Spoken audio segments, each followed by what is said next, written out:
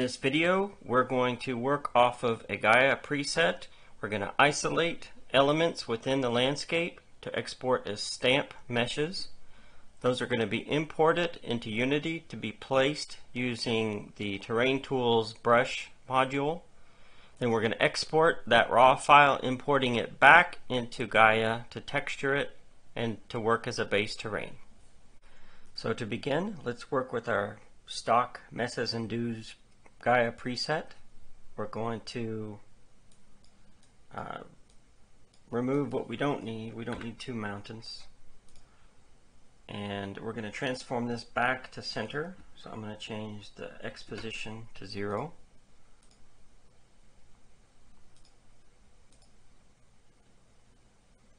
And I'm wondering why it's not it's bugging. Sometimes you'll get bugged nodes that'll really frustrate you because you don't know that it's really bug bugging. You just won't, you'll overlook it until you see a problem later. So let's go with another transform. And what we're going to do is change to 75%. That's going to shrink it relative to what it was before.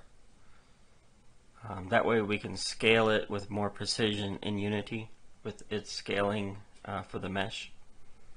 And then from here, we're going to, uh, I'm going to reference my settings here, clamp 10%. So on the clamp post process for transform is fine. We're going to put 10% as the minimum. And that's going to raise the baseline up. And then we can feed it to wizard. In this case, we're not going to combine it with dunes. You can if you want to have uh, a particular pattern on the landscape. Like for example, if you've added where the dunes are oriented based upon the way the air currents work, if you're really tricky. Uh, but in this case, we're going to do a simple stamp. We're going to stamp the mountains, stamp the dune, and then place the mountains on top of the dunes so for simplicity. So from wizard, we'll go zero borders. now that we've raised 10% of our baseline, if we if we give it a zero border value, you'll see that it that's what 1% looks like. The Gaea world space isn't to the top of the thing. It's actually whatever you set it to in terrain definition, which is 2600 here. Uh, so it's mostly empty space. So for zero borders, uh, let's change margin 18, power 20, power 10. So what that does is that gives us uh, a bit of grace when we're placing. If there if we don't have it perfectly precise, it'll give us a rounded over edge, a radius, so that if we're if the clamp has raised the terrain too high, it's not going to give us a 90 degree cliff. Uh, we don't. We can still dial it in. Um, so for this one, this is ready to go. And uh, we'll go to Mesher is our final output. This is an output node, so you don't have to mark it for output.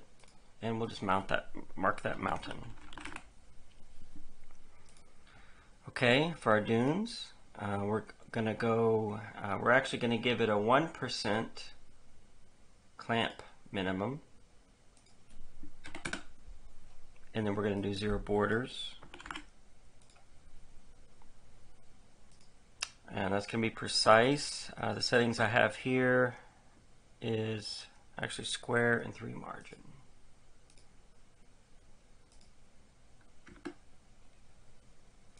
And what else have I got here?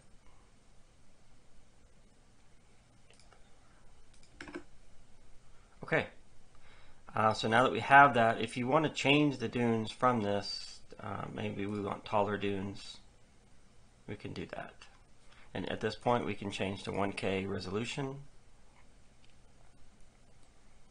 So there's our dunes, that's kind of stylized, maybe we won't raise it so high. And maybe soften the peaks.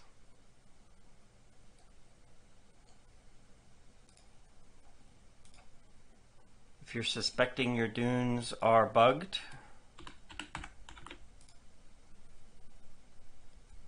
let's start over.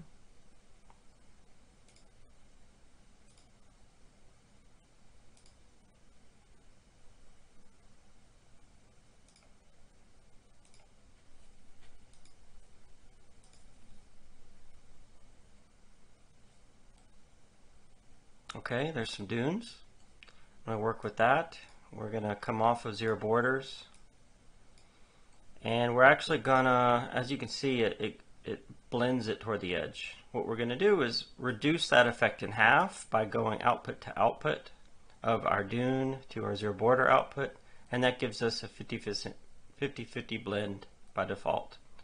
So it's just, it reduces the effect of zero borders. Okay, and then from here we'll go to Mesher. And I guess I need to change, that's the only one I tend to change. If you try to change vertex count, you're not going to get more detail because it's it, it seems to be that the community version, which I'm using the free version, um, is, since it exports height maps at 1K, I believe it, it prevents too many vertices as well. So there we go. And we will rename dunes. I'm going to change resolution to 1K. Raw. And let's make a new version of our desert terrain.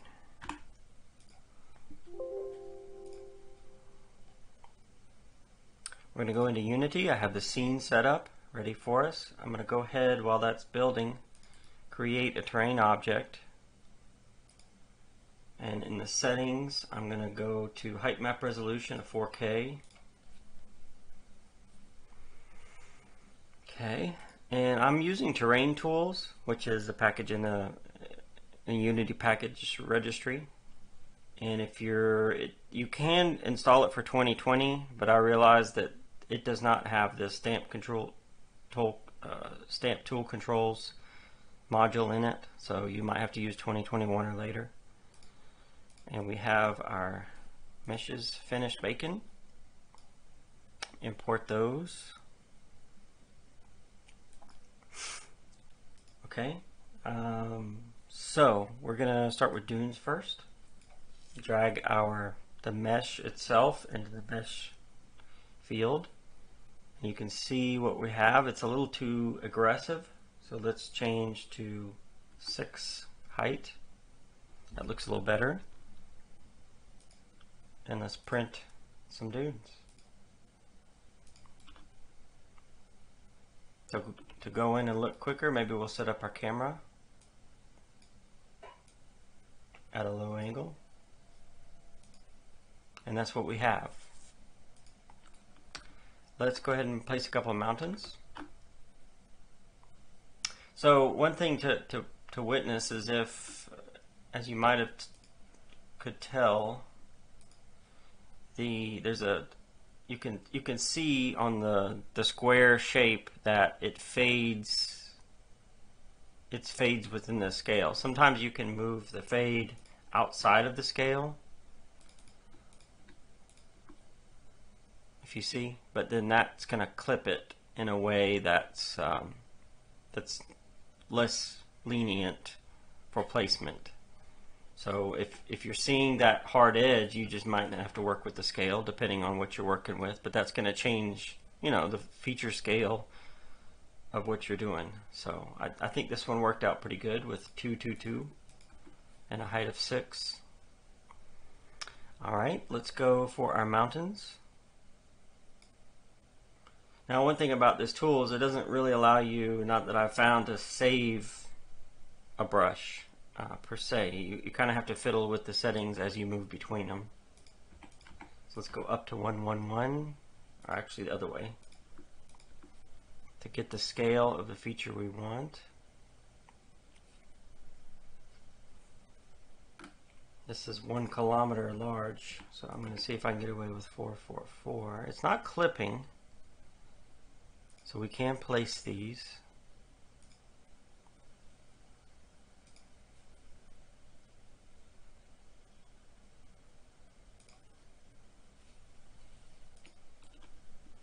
Now one thing that I'm witnessing, it, may or may not be a problem, is that there it's not really showing the skirting around the mesh. We may have to raise it a little. And what I'm talking about, let's go back. If you can see this debris that's sort of, you know, erosive layer that extends beyond the height map. I think we might want to have that. So I'm going to bump this value to 12 and let's see if that fixed if that gave us more of of the of the features around the base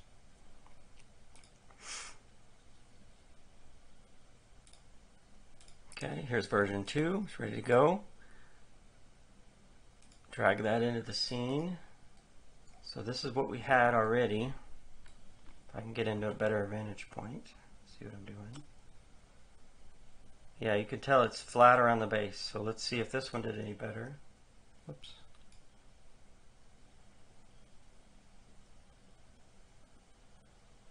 Did we export our mountains?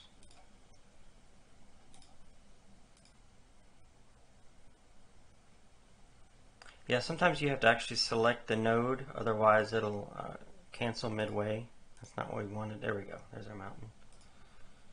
So let's drag our mountain in.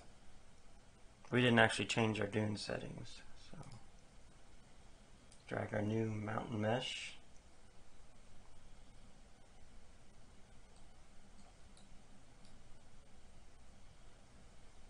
It might have given us a little bit more. Let's bump it up a little more. Say clamp min, let's say 15.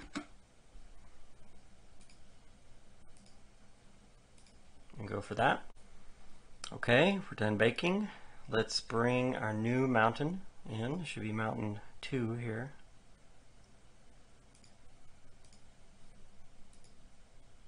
That's what we have already. Let's go to mountain 2.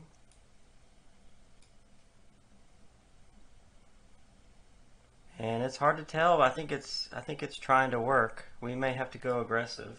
Uh, a previous setting that worked for me was 20, so let's check out 20. And our zero borders is still rendering.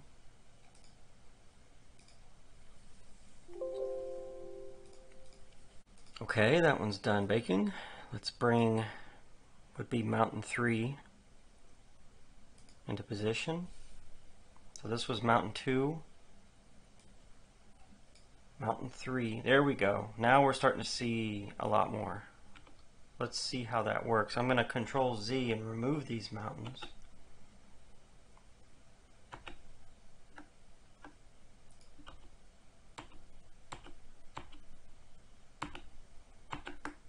And let's place mountain 3. Now we have some clippings, so we need to adjust our scale. There we go. That looks intact all the way around. Okay, but what, what I'm seeing there is that lip. If you can see it, well, you just see it right there, that line. So it made me a factor below 20. That was a big jump from 15 to 20. So let's go to 18 but instead of doing that, what we can do is just scale it down one more. So if we go 222, we might hit our fade zone. It looks like it, that might have helped.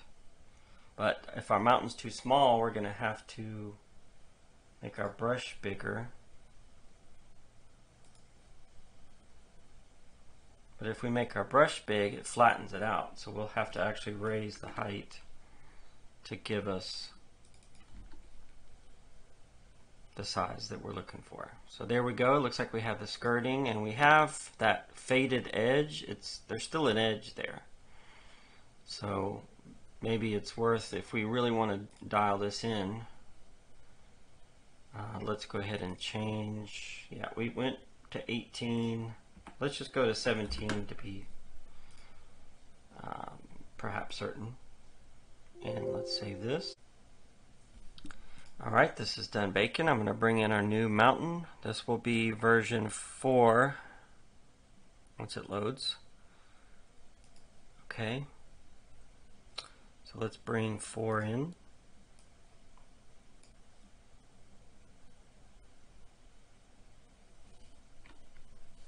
I'm going to control Z to remove that one mountain.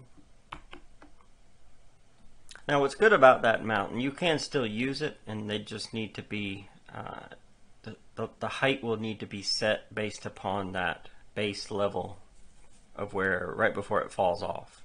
And then you can imprint it and it won't display that shelf.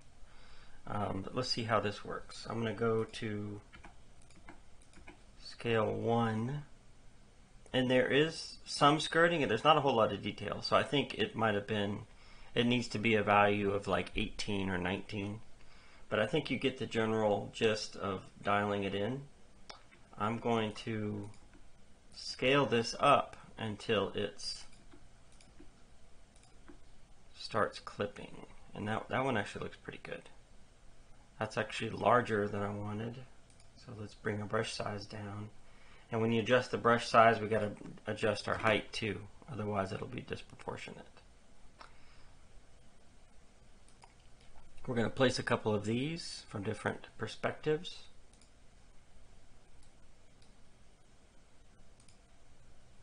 Okay, so now that we have our desert world, what we can do is export this as a raw file. Export this as a raw file, and I just closed it. Uh, right here.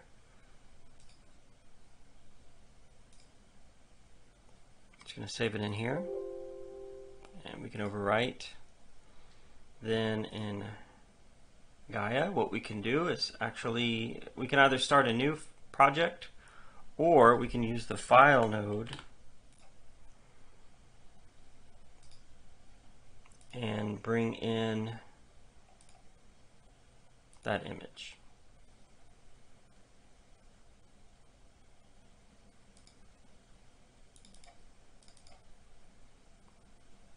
Okay, and there it is. That's what we created in Unity from stamps created in Gaea, brought it back full circle. And now you can work as a base terrain.